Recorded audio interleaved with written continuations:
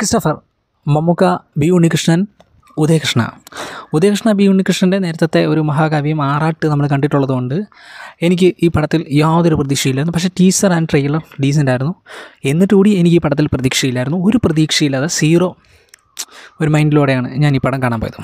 So എനിക്ക് ഈ പടം കണ്ടപ്പോൾ മനസ്സിലായത് this is my personal opinion okay ഒരു തരത്തിലും എന്നെ എൻഗേജ് ചെയ്യിക്കാത്ത ഒരു പടമായിട്ടാണ് എനിക്ക് തോന്നിയത്.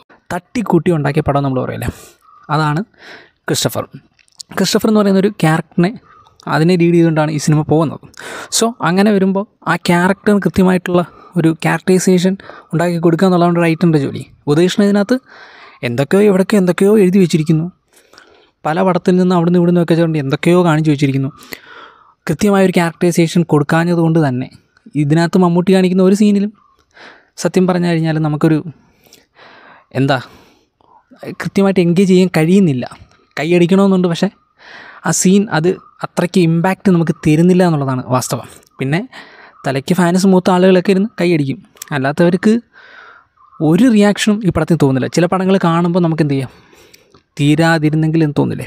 പക്ഷേ ഈ പടം സത്യം പറഞ്ഞു കഴിഞ്ഞാൽ എങ്ങനെയെങ്കിലും തീർന്നാൽ മതി എന്നുള്ളൊരു ഒരു മൈൻഡ് സെറ്റോടെയാണ് ഇരുന്നത് ഞാൻ. സത്യം പറഞ്ഞാൽ ഒരു പ്രീ ക്ലൈമാക്സ് ഒക്കെ ആകുമ്പോഴത്തേന് ഈ പടം എങ്ങനെങ്കിലും തീർന്നാൽ മതി എന്നായി. കാരണം നമുക്ക് പ്രീ ക്ലൈമാക്സ് ഒക്കെ ആയപ്പോഴത്തേന് ഈ പടത്തിന്റെ ഒരു വെർഡിക്റ്റ് സോ ഒരു സെക്കൻഡ് ഹാഫ് സ്റ്റാർട്ട് ചെയ്തൊരു പത്ത് മിനിറ്റ് ഒക്കെ ആയപ്പോഴത്തേനും നമുക്ക് മനസ്സിലായി പടം എങ്ങോട്ട് പോകുന്നു എന്നുള്ളത്. ഒരു സീൻ പോലും എൻഗേജ് ചെയ്യിക്കാനായിട്ട് പടത്തിൽ കഴിഞ്ഞിട്ടില്ല. വീക്ക് സ്ക്രിപ്റ്റ് അതിന് അതിലും വീക്കായിട്ടുള്ള ഡയറക്ഷൻ ഇതിനകത്ത് ആർട്ടിസ്റ്റുകൾ ഒരുപാട് ആർട്ടിസ്റ്റുകൾ അവിടെ നിന്ന് ഇവിടെ നിന്നൊക്കെ വരുന്നുണ്ട്. ആ വരുന്ന ഓരോ ആർട്ടിസ്റ്റിനും കൃത്യമായിട്ടുള്ള ഒരു ഐഡന്റിറ്റി കൊടുക്കാനായിട്ട് ഇതിന്റെ റൈറ്റർക്ക് കഴിഞ്ഞിട്ടില്ല. ആർട്ടിസ്റ്റുടെ പെർഫോമൻസും അത്ര ബെറ്റർ ആയിട്ടില്ല. ഐശ്വലക്ഷ്മി ഏതോ ഒരു ഇന്റർവ്യൂവിൽ പറയുന്ന കേട്ടു. ആ ക്യാരക്ടർ ചോദിച്ചു വാങ്ങി ഈ ഒരു ക്യാരക്ടർ എന്തർത്ഥത്തിലാണ് ചോദിച്ചു വാങ്ങിയെന്ന് മനസ്സിലാവുന്നില്ല. ഈ മമ്മൂട്ടിയും ഐശ്വര്യലക്ഷ്മിയും തമ്മിലുള്ള ഒരു ഇമോഷണൽ കണക്റ്റഡ് അതൊന്നും ഒരു തരത്തിലും പ്രേക്ഷകന് കണക്റ്റ് ആകുന്നതേ ഇല്ല.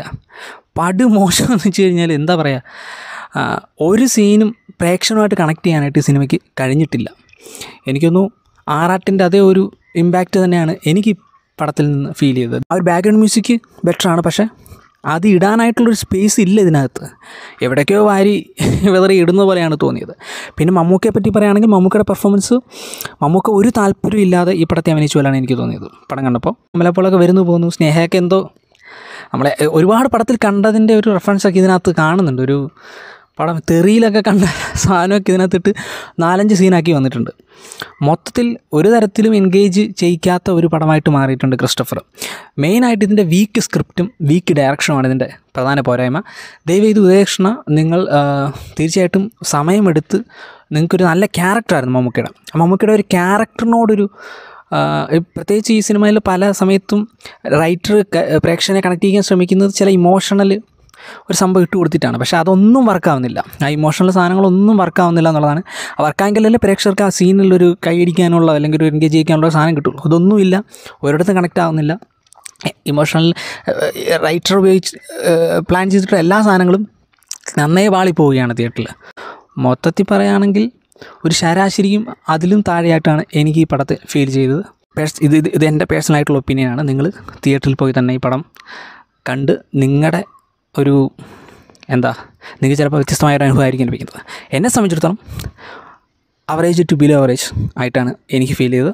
ദയവീത് ഉദ്ദേശിച്ച നിങ്ങൾ സമയമെടുത്ത് നല്ലൊരു ക്യാരക്ടർ കിട്ടിയിട്ടുണ്ടെങ്കിൽ അത് എങ്ങനെ സ്ക്രീനിൽ എത്തിക്കുക അത് കൃത്യമായിട്ട് നിങ്ങൾ വ്യക്തമായിട്ടിരുന്ന് സമയമെടുത്തിരുന്ന് അതാണ് നല്ലത്. ഇല്ലെങ്കിൽ ഇതേപോലുള്ള നന്നേ പരാജയം സിനിമകൾ ഞങ്ങളിപ്പോഴുള്ള പ്രേക്ഷകർക്ക് കാണേണ്ടി വരും. ആൻഡ് ഓൾസോ ബി ഉണ്ണികൃഷ്ണൻ എന്നെ സംബന്ധിച്ചോളം പടം നല്ല ഒന്നാം തരം വധമായിട്ടാണ്